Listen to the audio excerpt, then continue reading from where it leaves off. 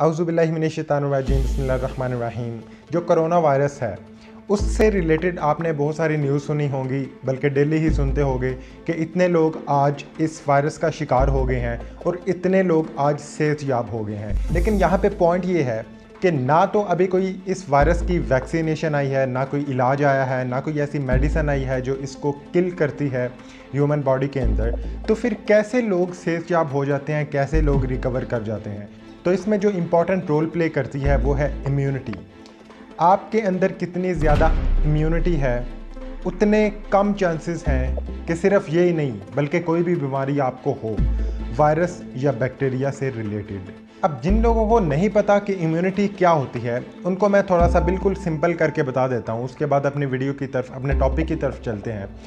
और वो ये है कि जिस तरह हर कंट्री की अपनी एक आर्मी होती है ठीक है, उस आर्मी का काम क्या होता है कि बाहर से कोई ऐसा बंदा एंटर ना हो जाए जो नुकसान पहुँचाए उस कंट्री को। उसको वो या तो किल कर देते हैं या फिर एंटर होने ही नहीं देते। तो बिल्कुल उसी तरह, हमारी ये जो बॉडी है, इसके अंदर भी आर्मी मौजूद है, इसके अंदर भी डिफेंस सिस्टम मौजूद है, जो बाहर से बैक्टीरिया और वायरस को अगर वो एंटर हो जाते हैं बॉडी के अंदर तो वो एक्टिव होता है और किल कर देता है। और साइंस में साइंस की ज़ुबान में हम उन सेल्स को वाइट ब्लड सेल्स कहते हैं। उन सोल्जर्स को या उस आर्मी को हम वाइट ब्लड सेल्स कहते हैं। और वाइट ब्लड सेल जितने ज़्यादा होंगे, जितने एक्टिव होंगे, जितनी ज़्यादा और अच्छे से उनकी डेवलपमेंट होगी, आपकी इम्यूनिटी उतनी ज़्यादा होगी। और साइंटिस्ट ये भी कहते हैं कि जितनी ज़्यादा आपकी इम्यूनिटी होगी, उतना ज़्यादा आपका लाइफ स्पैन होगा। वीडियो को शुरू करने से पहले इस चैनल को ज़रूर सब्सक्राइब करना वीडियो को लाइक करना, ताकि आपको इसी तरह की इंफॉर्मेशनल वीडियोज़ मिलते रहें। तो वीडियो को शुरू करते हैं। तो पहले नंबर पे है हमारे पास वेजिटेबल्स वेजिटेबल्स यानी कि सब्ज़ियाँ। और गर्मियों में वैसे भी सब्ज़ियों का सीज़न अब स्टार्ट हो रहा है। तो वेजिटेबल्स जो होती हैं वो आपकी इम्यूनिटी को इनक्रीज़ करती हैं। कुछ लोग वेजिटेबल्स पसंद नहीं करते हैं उनके लिए ये इंपॉर्टेंट बात कि उनको अपनी डेली लाइफ में इसको अप्लाई करना चाहिए, यानी कि सब्ज़ी वगैरह खानी चाहिए।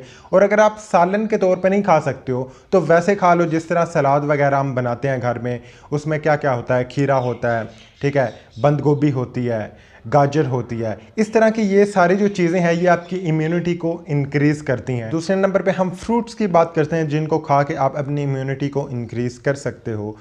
अब फ्रूट मतलब हमने वाइटामिन सी लेना है। जो वाइटामिन सी है, वो इम्यूनिटी के लिए बहुत ज़्यादा इंपॉर्टेंट है आपके वाइट ब्लड सेल्स के लिए।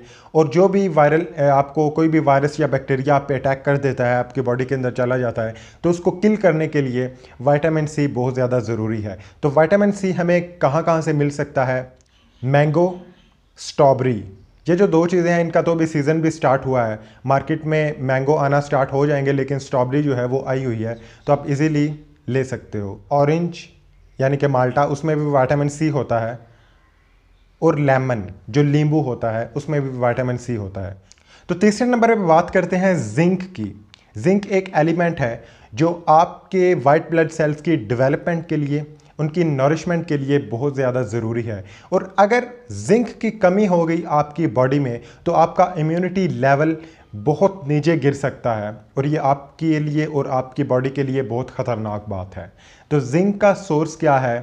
बीन्स एंड नट्स इनको इनटेक करके, इनको कंज्यूम करके आप जिंक को नेचुरली अपनी बॉडी के अंदर ला सकते हो और अपनी इम्यूनिटी को इंक्रीज़ कर सकते हो। अगर हम खाने पीने से हट के ज़रा कुछ प्रैक्टिकल फ़िज़िकल बात करें तो आपको स्मोकिंग बिल्कुल भी नहीं करनी है और जो अपनी नींद है, वो पूरी करनी है।